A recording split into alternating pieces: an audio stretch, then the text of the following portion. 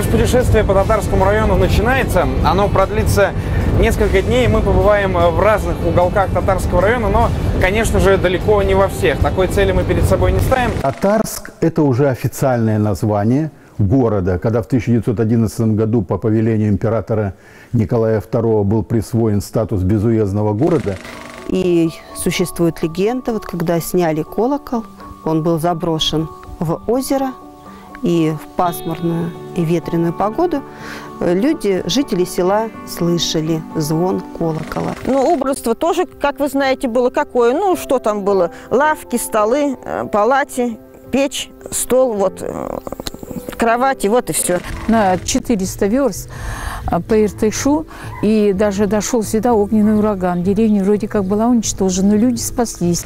Я не знаю, как они узнали.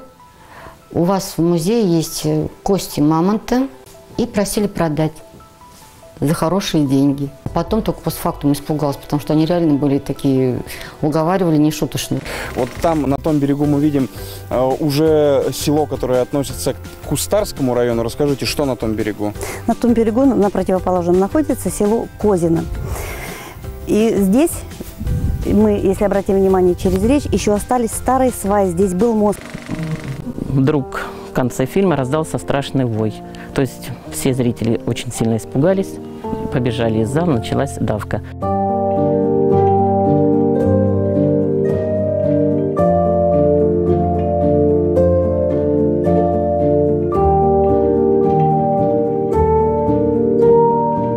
Вход в церковь когда-то был там, ну и вообще во все времена, когда здесь был зерносклад, когда позже здесь была мельница и когда здесь был кинозал. А вот населенные пункты с таким названием, как, к примеру, Зеленая Грива или Безбожник, еще нужно поискать на карте России. В основном там э, проживали русские, и они были комсомольцы коммунисты. Вот поэтому и назвали, что они вроде бы не верили в Бога. И Преданный идеалам партии. да, да, да, да, да.